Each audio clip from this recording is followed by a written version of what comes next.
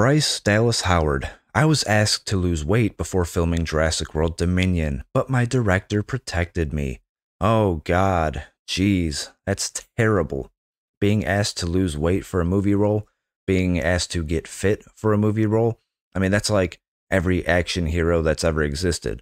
But when it comes to uh, Bryce Dallas Howard, apparently that's crossing the line. Bryce Dallas Howard revealed in a new interview with Metro that she was asked to lose weight before filming Jurassic World Dominion, which marked her third outing in the Jurassic World franchise.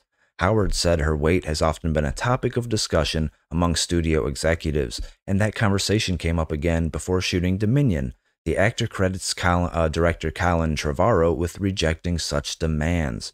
What being in this third film allowed? How do I say this? How do I say this? How do I say this? I've been asked to not use my natural body in cinema.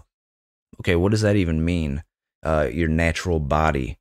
Okay, uh, are you just naturally fat? Is that what you're trying to say? I don't understand. On the third movie, it was actually because there were so many women cast. It was something that Colin felt very strongly about in terms of protecting me, because the conversation came up again. We need to ask Bryce to lose weight. Now, I was thinking this you know, it could have been kind of funny to see a fat Bryce Dallas Howard in the movie. You know, uh, watching her trying to run away from a T Rex, like grabbing her heart, huffing and puffing. That could have been funny. I would pay to see that. Colin was like, There are lots of different kinds of women on this planet, and there are lots of different kinds of women in our film. Howard continued, I got to do so many stunts that wouldn't have been possible if I had been dieting. Howard concluded by saying, I'm really thrilled at all the action I got to do, and I got to do it with my body. Again, what does that mean? With your body. Of course, it's your body. Whose body would it have been otherwise? I don't understand. She was at her maximum strength, and I hope it is just yet another indication of what's possible.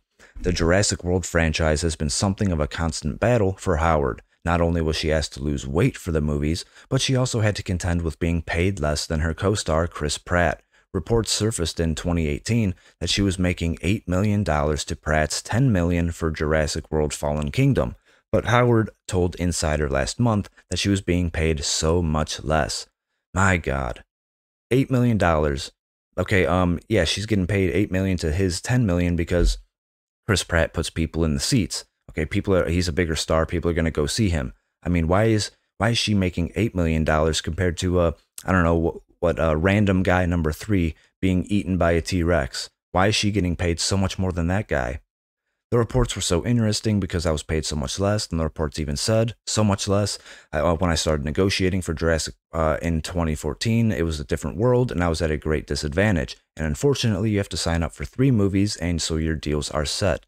And then she goes on to say Chris Pratt helped her negotiate. Uh, to make more money or make the same amount of money. But um, yeah, this is just ridiculous. Um, I mean, be, being asked to lose weight for a role is not uncommon in Hollywood.